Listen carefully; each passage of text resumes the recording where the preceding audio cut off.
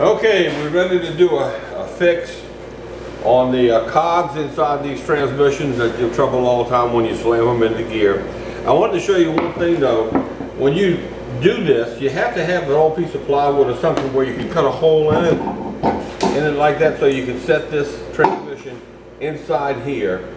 Um, because that's the way you need to take it apart. You take it like this because when you take this apart, if you pull this shaft out with it, there's some uh, washers, thrust washers and stuff down in here that will uh, that that'll make you have to pull this whole gear unit apart over here, and it's a pain. So this is going to be the easy way to do it uh, as far as fixing these cogs. Now I got all the bolts out of this already, and we're ready to separate the case. All you do is just take all the bolts around off, and uh, what you do is you take a a screwdriver here and over here.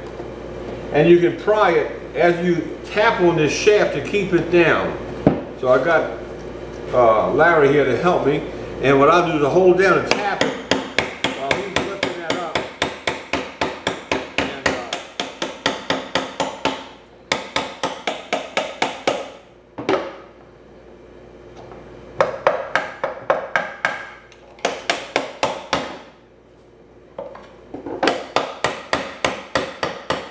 All right.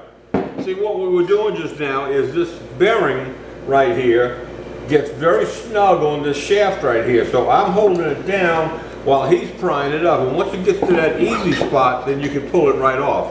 And that way you don't, um, you know, you don't drop those washers. And this is, see this, there's a washer here. Well, no, it's under here. There's a washer under here, and I'll show you what it is in just a minute. Uh, it's right here. The strut wa trust washer is one just like the ones that are down here. So if you don't pull, hold the shaft down while you're pulling it apart, those thrust washers will fall. So you just slide the shaft right out set it aside. Take this thrust washer and uh, and you take these two chains off with this. Uh-oh, and I just dropped the other thrust washer. And I wanted to show you that.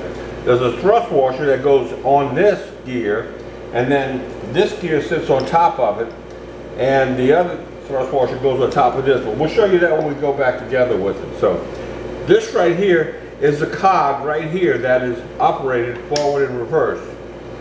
So what we're going to do is we're going to take out the little uh, tension ball that holds this when you go from new, neutral to forward to reverse. Got a little ball on it. So we're going to pull that off.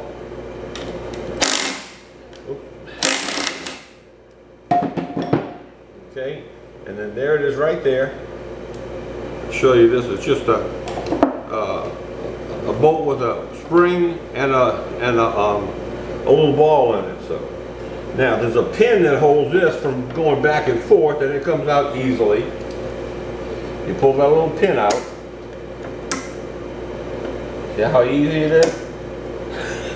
it's out. That's all you do. That allows you to push this shaft in while you're taking this off. This is the cog that goes bad. Now I'm going to have to get up close to the camera so you can see what happens. Now, this side of the cog is still good because that's the reverse side. This cog of the, this side of the cog, you can see it's tore up because of it slamming into forward gear. So the good thing about this is, is that this cog turns let me show you something while I, before I forget it. This is a little roller that goes in here that's on this. If it slides down, falls down, you're going to have to put it back on this little shaft right here. But, this is what I'm going to tell you. Because this is on the input shaft, it only turns one direction. See, so it's turning this direction and forward, and it's hitting on these gears. This gear right here, and this gear down here. And I'm going to show you that those gears very rarely go bad. So what you could do is, instead of replacing this, you just flip it over and put it down like that. And then the good sides of this cog will be hitting in forward. And you'll, you'll not have a, a problem at all then. But now I want to show you that these gears are made out of um, hard steel. These are made out of cast iron. That's why these wear and these don't. You'll very rarely find these uh, uh, bad at all, ever. And if you do ever have them, this one down here slides right up, and this one slides. Of course, you take this one off first. I have these gear, gears for sale um, on my site that uh, are used and they're good and they're reasonable. So if you ever have to have these, but that's very rarely that you have to have those. So all you do is you take the, you know, like I said, this, and you turn it upside down, and then you stick it on here, back, just like we, all you gotta do is reverse everything now, okay? Um, and you push that in where it's like that.